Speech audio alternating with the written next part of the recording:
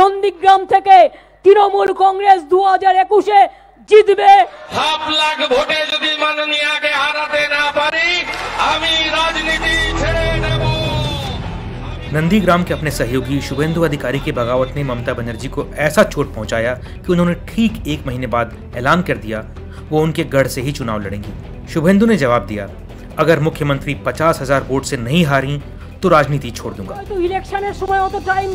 ममता बनर्जी के पश्चिम बंगाल की सत्ता के शिखर पर जाने के रास्ते में नंदीग्राम सबसे बड़ा पुल साबित हुआ।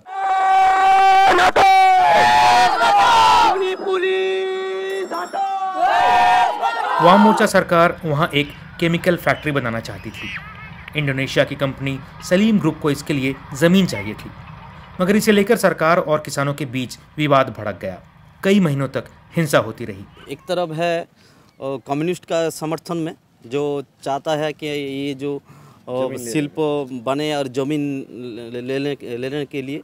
और एक तरफ़ है भूमि माने नहीं देने नहीं, नहीं देगा भूमि उच्छेद प्रतिरोध कमेटी। दोनों तरफ़ लड़ाई हुआ था। इस तरफ़ था खेजूरी विधानसभा इस तरफ़ था नंदीग्राम विधानसभा। और मिडिल में ये जो ड्रेन है और यहाँ बंकर था काट दिया था ये जगह में। उस तरफ़ से गोली का लड़ाई चल रहा था इस तरफ़ से गोली का लड़ाई। दोनों तरफ़ लड़ाई चल रहा था बहुत आदमी मार गया। नंदीग्राम में विरोधी किसानों की एक समिति बन गई थी जिसके अगुआ नेताओं में शामिल थे तृणमूल कांग्रेस के स्थानीय नेता शेख सूफिया। वो बताते हैं कि 15 मार्च 2007 को गोली चलने की खबर के बाद ममता बनर्जी कैसे नंदीग्राम पहुँची? नंदीग्राम आने से कोलाघाट में उनको अटका दिया। सीपीएम पार्टी को जो आदमी सब लोग वालों लोग सब अटका दिया। तो ममता बनर्जी मोटरसाइकिल करके नंदीग्राम में पहुँचा था। आने से सब शहीद परिवार वालों को शांत करता है। मैं आपको साथ में है हैं, से देख लेंगे जाओ जो होगा होगा। तुम तो आंदोलन चाल रखो। ममता तब जिन लोगों से मिली उनमें कंचन माल भी थी। जो बाकी गांव वालों के साथ प्रदर्शन करने गई थी और उन्हें गोली लग गई কে ওই বাচ্চাটাকে জল দিতে দিতে আমাকে গুলি করছে मैं एक घायल पड़ोसी लड़के को पानी पिला रही थी तभी मुझे भी गोली मार दी यहाँ गोली लगी थी इस जगह अब दाग कम हो गए हैं मुझे पहले नंदीग्राम ले गए फिर तामलुक तब वहाँ ममता दीदी आई और मुझे देखने के बाद फौरन कोलकाता के पीजी अस्पताल भेज दिया দিদি এসে দেখা আর সাথে पीजीते अल्टार कर नंदीग्राम हिंसा के बाद आंदोलन हुआ। वाम मोर्चा सरकार की बदनामी हुई और आखिर 2011 में ममता बनर्जी मुख्यमंत्री बन गई। नंदीग्राम और सिंगूर। ममता बनर्जी ने इन्हीं दो जगहों से शुरू किए गए अपने आंदोलन के दम पर पश्चिम बंगाल में वामपंथियों के 34 साल पुराने किले को ढहा दिया था। एक दशक बाद ममता बनर्जी ने नंदीग्राम को लकी बताते हुए ऐलान किया है कि 2021 में उनकी वजह यात्रा नंदीग्राम से ही शुरू होगी। हालाँकि नंदीग्राम में ऐसे लोग बड़ी संख्या में मिलते हैं जिन्हें फैक्ट्री न लग पाने का मलाल है।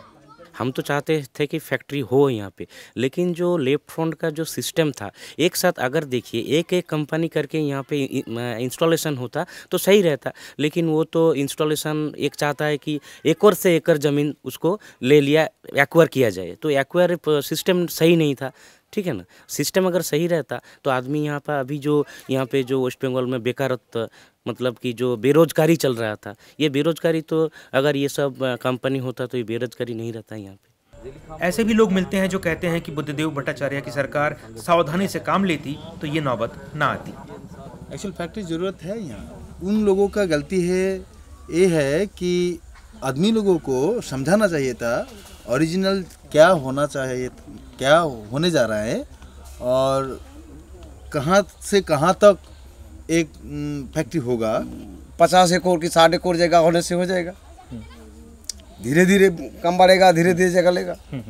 लेकिन उस टाइम पर एक साथ में कितना दस दस बारह मौजा एक साथ में कर दिया। वाम नेता कहते हैं, नंदीग्राम के वाकये को फर्जी तरीके से बढ़ा चढ़ाकर पेश किया गया। चौदह लोग की मृत्यु हुई। चौदह लोग के अंदर नौ लोग आइडेंटिफाइड हुए। पाँच लोग कहीं से कोई माओवादी वगैरह आए थे, जिनको भाड़े में लाया गया था, उनको आज तक शनाख्ती नहीं हुई। और उसके अंदर पुलिस की गोली से मारे गए थे, कम, और बम के स्प्लिंटर से ज़्यादा लोग मारे गए थे।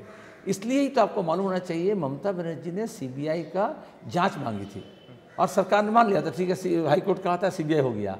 आज तक तृणमूल कांग्रेस की सरकार 10 साल में सीबीआई की जाँच के ऊपर क्यों नहीं कार्रवाई की? करना चाहिए था ना। तो क्या वामपंथियों से कोई गलती ही नहीं हुई? जानकार बताते हैं ऐसा नहीं है।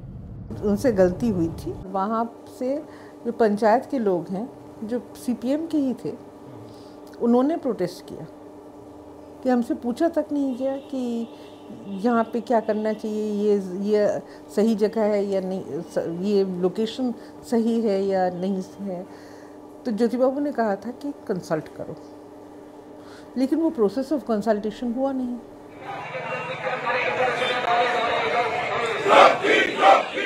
सत्ता जाने के 10 साल बाद वाम मोर्चा पिछले एक दो सालों में नंदीग्राम में फिर से पाँव जमा रहा है। जिस शुभेंदु अधिकारी ने कहा था लाल झंडा पकड़ने वाला कोई आदमी नहीं मिलेगा आज समय का परिहास देखिए वो खुद अपनी पार्टी का झंडा छोड़ चुके हैं। आज भगवा झंडा पकड़ चुके हैं यही होता है इतिहास। नंदीग्राम का इतिहास बहुत कुछ बदल गया।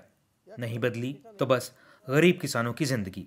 हमारा साधारण मानुष गोटे वोट ये छड़ा तो आराम हम लोग साधारण लोग हैं एक वोट है। उसके अलावा तो हमारे पास कुछ है नहीं। बचाने वाला बचाएगा मारने वाला मारेगा। किसी तरह ज़िंदगी चल रही है।